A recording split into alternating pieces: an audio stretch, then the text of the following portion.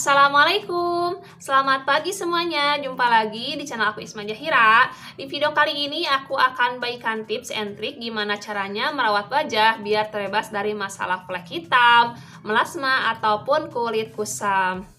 Jadi di video kali ini aku gak akan bikin masker dulu Namun aku akan gunakan bedak jadul ini Supaya hasilnya lebih maksimal Bukan hanya sekedar bedak Namun juga bisa membantu merawat wajah kita Biar wajah kelihatan lebih bersih, lebih cerah Bebas dari masalah flek ataupun udah hitam di wajah dan untuk teman-teman yang penasaran dengan tips kali ini, jangan lupa sebelum melanjutkan nonton video ini, untuk support channelnya dulu biar channelnya makin rame tambah maju dengan subscribe, like, share, maupun komentar. Oke, sekarang kita lanjut ke tipsnya. Nah, jadi untuk merawat wajah kita biar kelihatan lebih bersih, lebih cerah, bebas dari masalah flek ataupun melasma, di sini teman-teman bisa menggunakan bedak dan untuk bedaknya di sini aku menggunakan bedak jadul yaitu bedak pipa dan aku gunakan yang nomor 4 bedak pipa yang tabur atau saset ini. Teman-teman harganya terjangkau kira-kira sekitar 5 ribuan aja. Teman-teman bisa gunakan bedak ini. Selain fungsinya sebagai bedak juga bisa kita manfaatkan untuk merawat wajah kita biar terbebas dari masalah plek ataupun noda hitam di wajah namun selain dengan menggunakan bedak tabur pipa ini, kita akan tambahkan dengan bahan lainnya biar hasilnya lebih maksimal. Nah, sekarang kita buat aja dulu ya. Bahannya pertama adalah bedak pipa yang tabur. Nah, di sini teman-teman bisa gunakan secukupnya aja, boleh untuk 1 sampai 2 kali penggunaan. Dan aku gunakan 1 sendok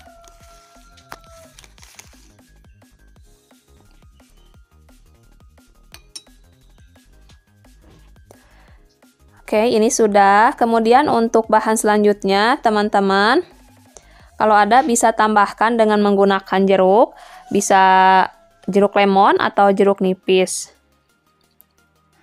Nah, di sini aku akan gunakan secukupnya aja.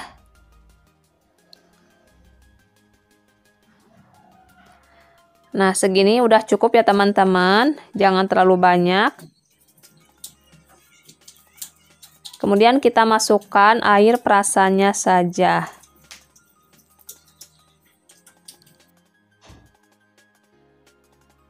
Kemudian kita campurkan kedua bahan ini sampai benar-benar tercampur rata.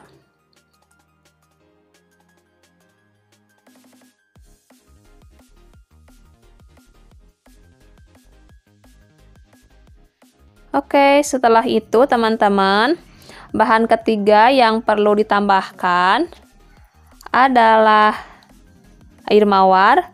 Di sini aku gunakan air mawar yang Herboris. Teman-teman bisa gunakan merek apa pun. Boleh air mawar pipa atau air mawar Herboris seperti ini. Untuk air mawar ini teman-teman bisa gunakan secukupnya aja. Dan Air mawar ini juga bagus ya buat wajah, terutama bisa membantu mencerahkan dan juga menghaluskan kulit. Sini aku masukkan kira-kira sekitar satu sendok ya. Oke, setelah ini kita aduk-aduk lagi dan campurkan semua bahan sampai benar-benar tercampur rata semua.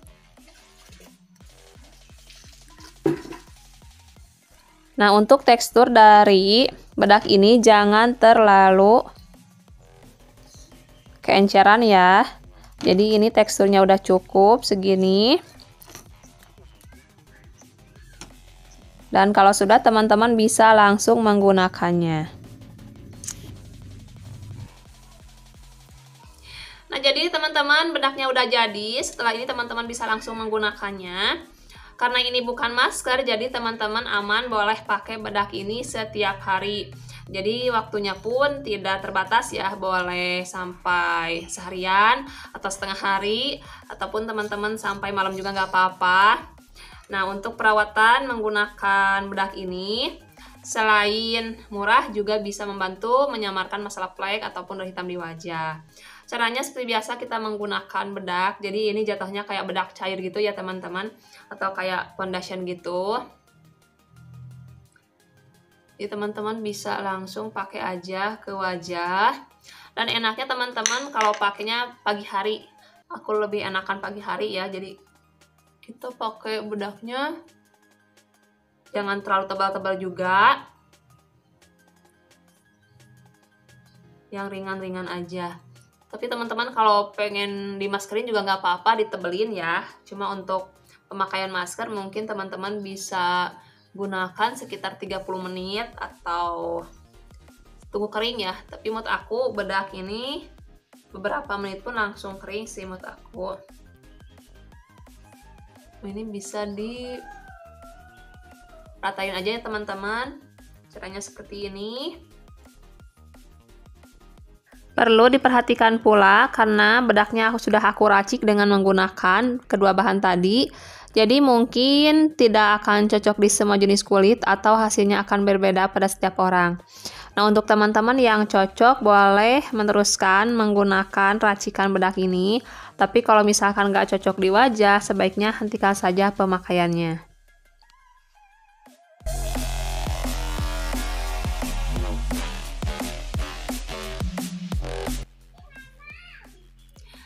Dan mungkin cuma sekian video kali ini. Semoga tipsnya bermanfaat. Terima kasih untuk teman-teman yang sudah selalu support channelnya dan yang sudah nonton video ini sampai selesai. Makasih banyak. Pokoknya jangan lupa terus saksikan channelnya aku Isma Jahira dan nantikan video-video berikutnya yang lebih menarik dan yang lebih bermanfaat lainnya. Mungkin itu aja. Saya Isma Jahira dan kata wassalamualaikum warahmatullahi wabarakatuh.